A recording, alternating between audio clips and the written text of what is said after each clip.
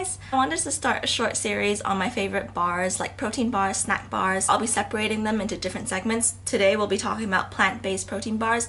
Next time I'll do whey protein bars and then following would be snack bars. The thing is, they're good to have in between meals, like between lunch and dinner when you're feeling a little bit hungry. They're easy to carry around, so in your purse or your gym bag. So the thing is, you can get them in various sports stores, Just Green, Green Commons in Hong Kong, but they're quite expensive. As I mentioned in my iHerb haul previously, I'll link that in the description box below. You can buy them in boxes of 12 and generally they're quite cheap. The thing is you really have to make sure you like the flavor or you like the brand, otherwise you'll end up with 12 bars that you don't know what to do with them, give them away.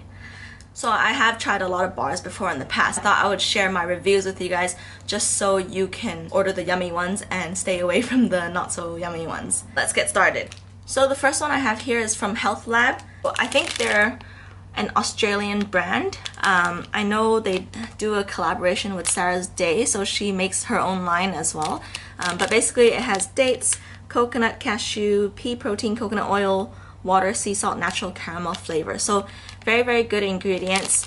Um, this ball is 496 kilojoules. I don't know how many calories that is, but I think it's roughly 100 something.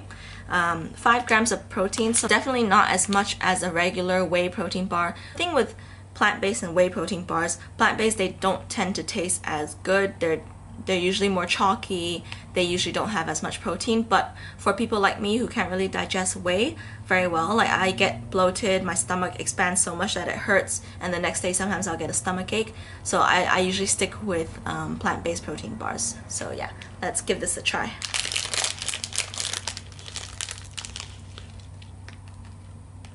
So it looks like this. Basically looks like a huge energy ball. Um, quite messy.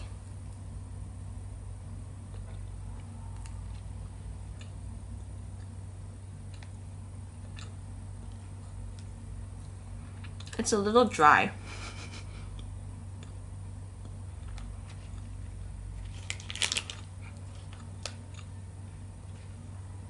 Hmm. A little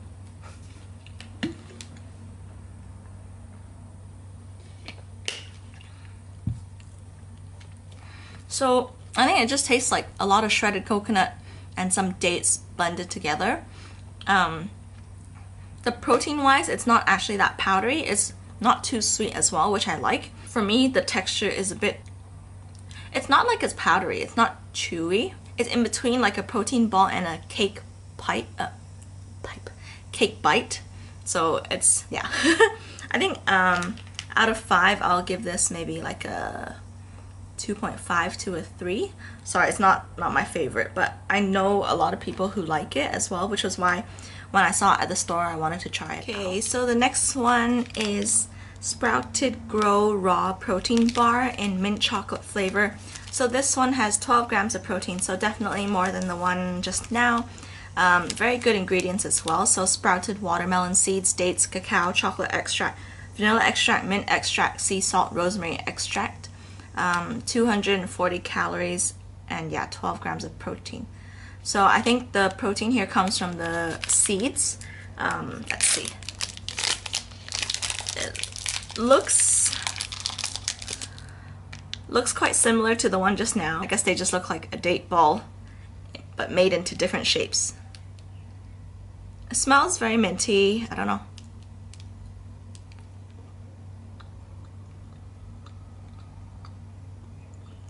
They taste the same, similar. This is chocolate mint. But texture-wise, I think this is slightly more chewy. Not as dry for sure. But yeah, it tastes...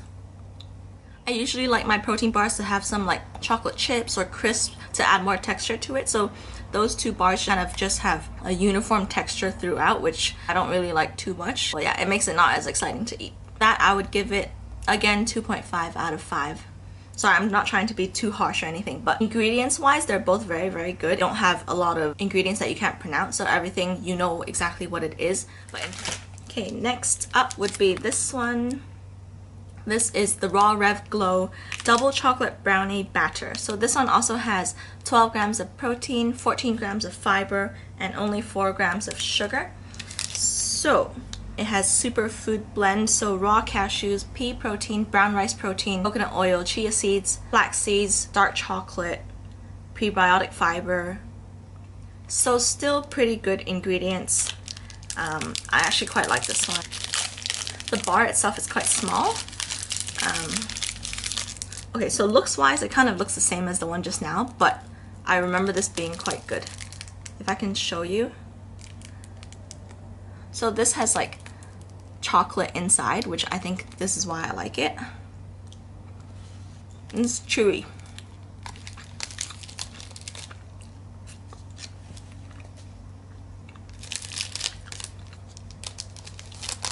So the chocolate chips are quite big and because Hong Kong is quite hot right now, they're like half melted. You can't really see, but the chocolate chips like here. And it's quite yummy, like, um,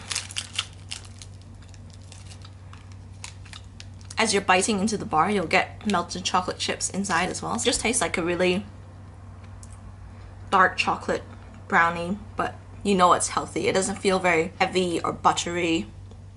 It's quite light, but it's still quite chocolatey, which I like. Hmm. This one. I'll give it 3.5.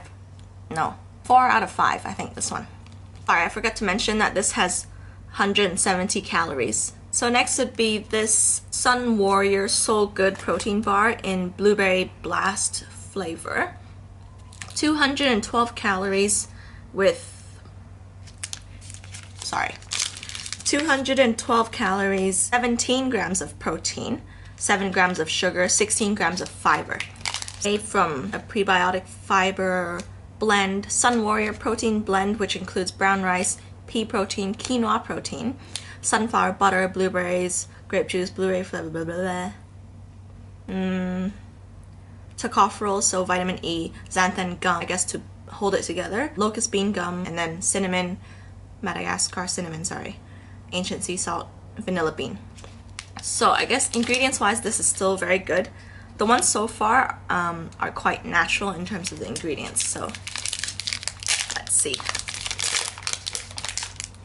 Okay. You can kind of see the blueberry embedded inside. Okay, I've had Sun Warrior protein before and it tends to be quite chalky. Like I've tried ordering the box of protein that I can put in my smoothies so I don't know if this is going to be chalky as well.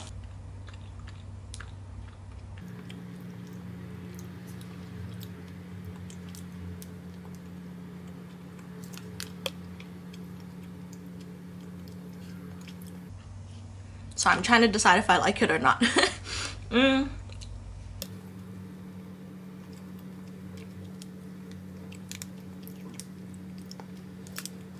It's quite interesting. So you get a bit of like the dried blueberries, you get a little bit of crisp in between. It's not actually that powdery. For 17 grams of protein, I think it's quite decent, or like a plant-based protein bar at least. The blueberry flavors, flip. The blueberry flavor is not too fake. You know, you get this really artificial like fruit flavor sometimes. So this one's not really like that. It tastes a little bit like a blueberry muffin. I actually don't mind this one.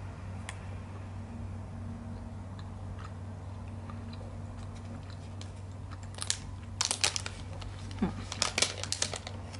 I prefer this over the salted caramel one, the first one that I tried. I think I'll give this a 3 out of 5. So the remaining ones I know I like, which is good.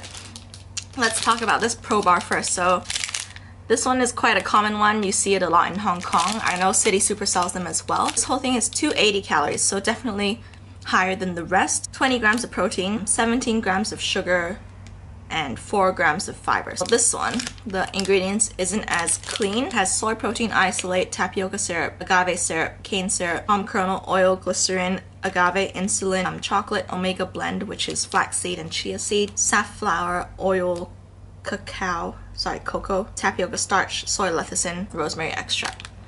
I mean, not the worst, not the greatest, but if you're having this once in a while and you're still supplementing it with healthy meals, I don't see a problem with treating yourself to a protein bar once in a while. Because, I mean, if you find one that you like, in addition to it being a snack, it's also more of like a treat to yourself. A lot of the ones that I enjoy, they taste like chocolate bars to me, so I do enjoy eating them. This one looks more like a chocolate bar. And then the inside looks like this. So different layers. It has a crispy layer and then like a, I guess the protein layer.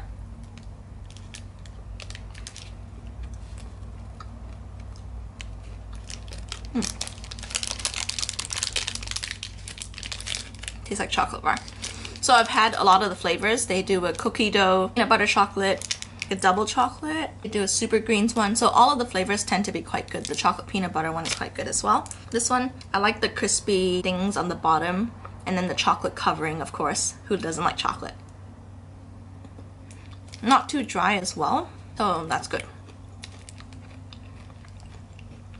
Hmm. This will probably be 4.5 out of 5 because it really does taste like a candy bar. And yeah, very, very enjoyable. Next is this NuGo Chocolate Chocolate Chip.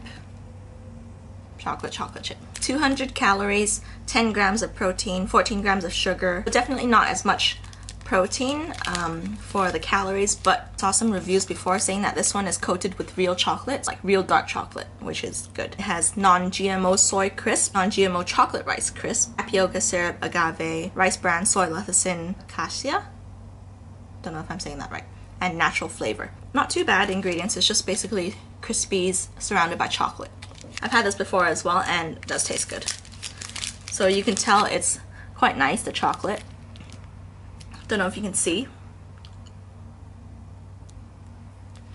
But yeah. Mm. It's like Rice Krispie coated in dark chocolate.